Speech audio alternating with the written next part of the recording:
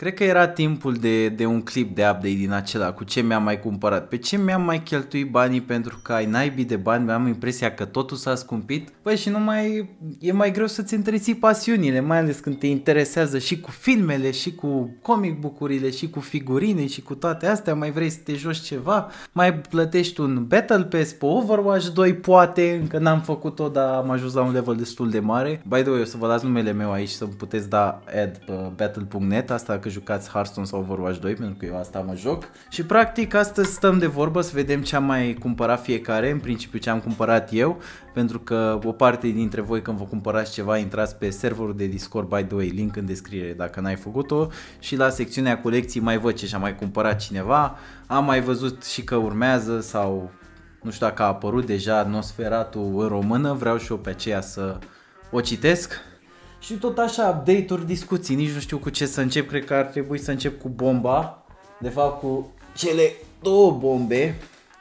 Avem o dată DC vs. Vampires, volumul 1, primele 6 issues, e o serie care se termină anul acesta în decembrie și probabil anul o să apară și volumul 2, că vreau tot în formatul acesta. Și pe lângă asta, pentru că asta e ceva gen, voiam un comic book ceva așa mai spooky, mai de Halloween și l-am găsit pe ăsta și am zis ok, îl iau.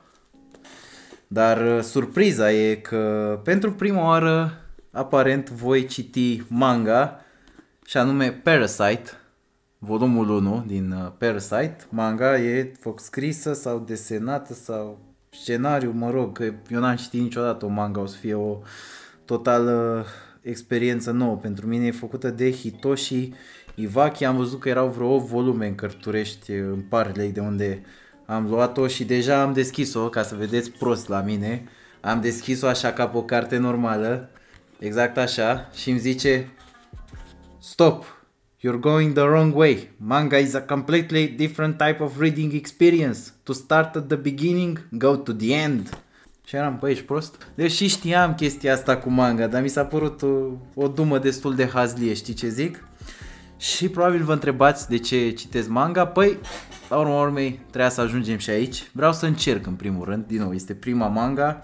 Și plus de asta, cu astea două, DC vs. Vampire și Parasite, o să discutăm pe lângă, că o să le fac recenzie la fiecare pe canal, o să discutăm pe, pe Instagramul celor de la Cărturești Comics, o să vă las eu un link în descriere, o să avem o discuție live pe 26 octombrie, dacă nu mă înșel, o să vă țin eu la curent pe comunitate sau pe Insta, dați un follow și acolo, o să vă țin la curent cu ora exactă când începe, dar din nou, dacă dai follow la Cărturești Comics, posibil să fii notificat că o să se întâmple acel live în care discutăm despre astea două. Și abia aștept, sunt curios de manga-ul ăsta, cum o să fie. Probabil voi le știți deja care sunt alea bune, probabil o să înceapă lumea în comentarii să-mi zică citești-o și pe aia și pe aia. Răbdare să văd că îmi place în primul rând și dacă îmi place îmi mai cumpăr. Din nou, e o primă experiență, am un pic de scepticism acolo că poate nu o să-mi placă, dar sunt destul de deschis să mi se demonstreze contrariul. Mai departe, pentru că n-am mai vorbit de mult de Libertatea și nu o să mai fac recenzii la Libertatea așa când apar, mi-am mai cumpărat câteva, evident n-am citit niciuna pentru că vreau să le citesc strict pentru mine și am luat o pasta, Războiul Secret, Că eu ca prostul din nou, ca să vedeți inteligent, am crezut că e Secret War și am zis, băi, ești prost, o iau. Și apoi am văzut că stai, că nu e chiar așa. Și are și un desen, nu știu dacă se vede, dar nici nu are un desen de ăsta foarte, cum să zic eu, e foarte digital, dar într-un sens nașpa, ca să zic așa pe românește pe înțelesul tuturor și pe înțelesul meu. Și mi-am luat un pic de țeapă, mi-am luat și băiatul ăsta cu New Avengers Illuminati. Ăsta îmi place cum arată, dar uh, din nou, l-am luat Doctor Strange 2, Illuminati acolo, l-avem și pe Namur, Black Panther 2. Mi-a plăcut și desenul și am zis ok, hai să luăm. Și ăla de care sunt cel mai fericit, ca să vă zic un mic story time, Trebuia sâmbătă asta când filmez eu recenzia la Amsterdam și acest uh, clip de discuții, trebuia să merg uh, o zi în Brașov cu prieteni, cu Spidey, cu, cu prieteni, cu încă o prieten, mă rog, trebuia să fim mai mulți.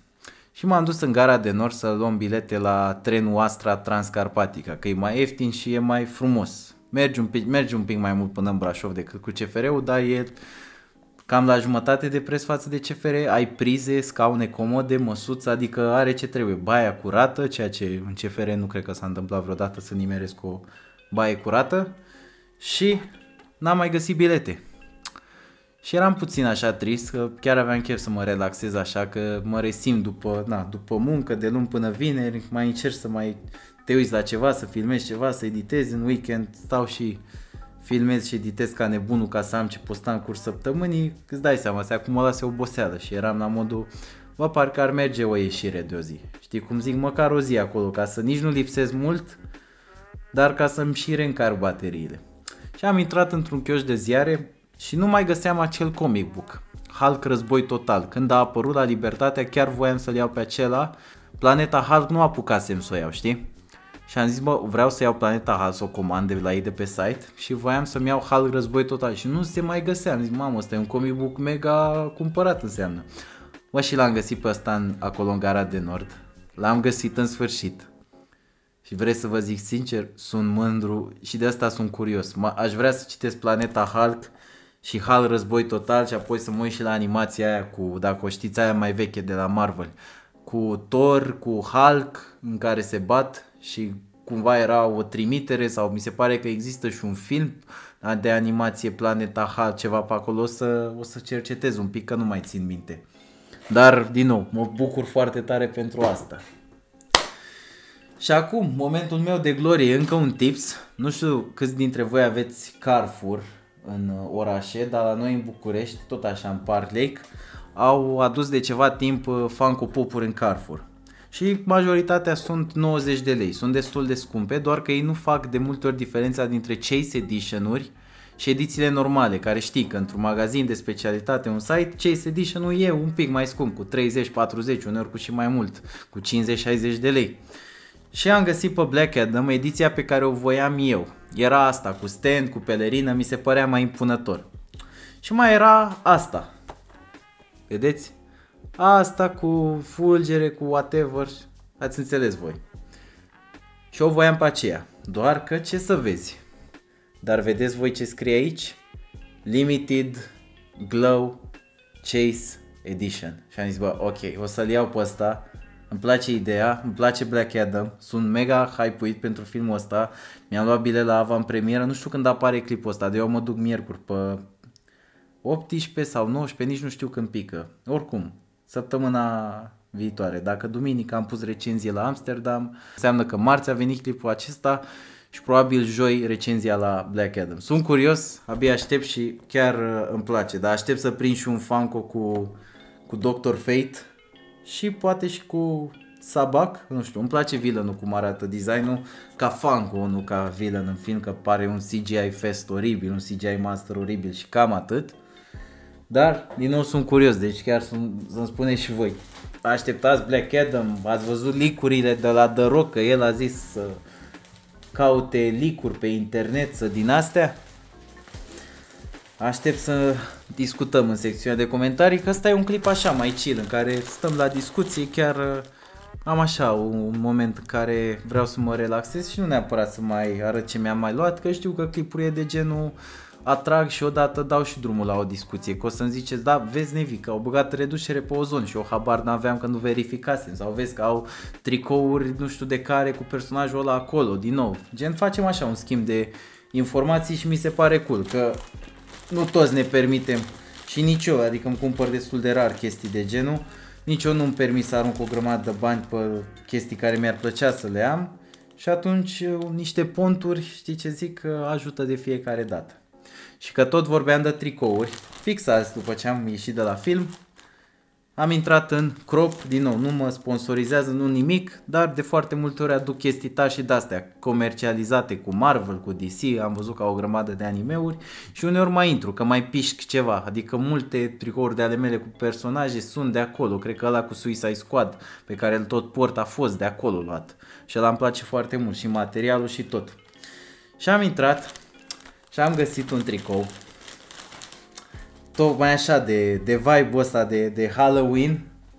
Chiar, chiar îmi place foarte mult să arăt mai întâi spatele. A fost ceva, scrie Time to Float, deci probabil știți deja. Dar stați să vă arăt fața. Uitați fața. Uitați fața aici. Welcome to Derry.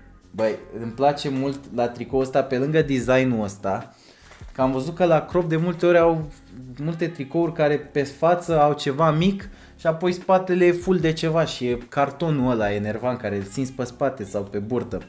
Ei bine, asta nu, într-adevăr, am dat vreo 90 de lei pe el, dar e...